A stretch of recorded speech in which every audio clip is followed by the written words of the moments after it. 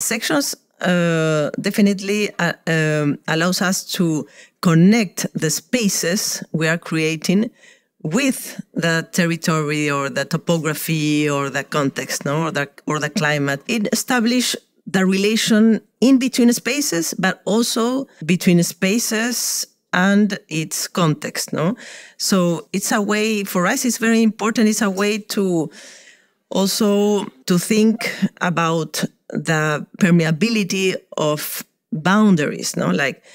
Uh, I think connection, the word connection is really related with our work. No, we we we we're meant to connect people, connect spaces, connect context with uh, uh, the the spaces, connect community with the building or with uh, activities. So the section allows you to to do that, to visualize or envision these connections and this relationship, no, with the also with the sky, with the light.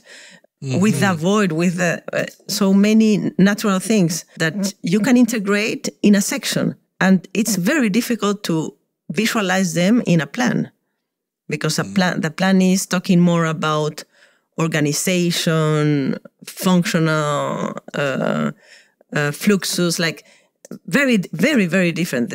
Those are very mm. different tools. Your plan also uh, expresses uh, the thermal structure of the space. Mm-hmm. You know where the air conditioning goes, where the natural ventilation is, mm-hmm. where the flows of not just people but of air and light mm-hmm. uh, potentially can happen. I, I, I think this idea of the plan as a way of visualizing programmatic divisions is one thing, mm-hmm. but then to then attach yeah. to that a yeah. kind of a thermal condition yeah. uh, to say that this these are the boundaries between these different conditions yeah.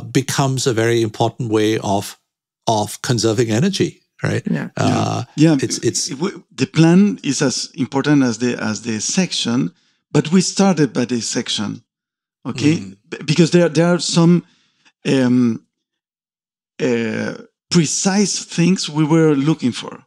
For instance mm.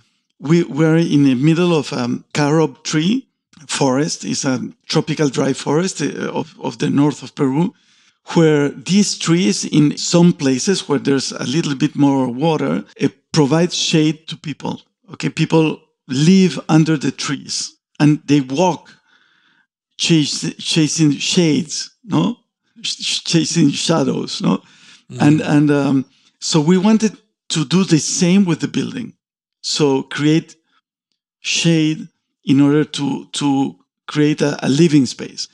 Mm-hmm. But then, how do you create shade with a with a with a roof? Okay, but at what height do you put the roof in order to integrate the building with the this forest? And the height was the height of the trees. So right. we started by drawing an horizontal line, no?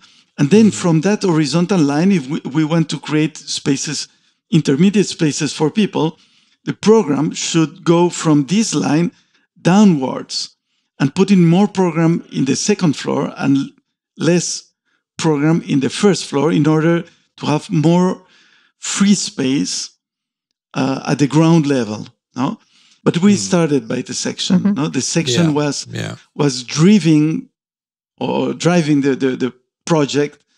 Uh, and then the section should be as intelligent as the as the as the as the plan. The, yeah, the plan yeah. should be as intelligent as the section.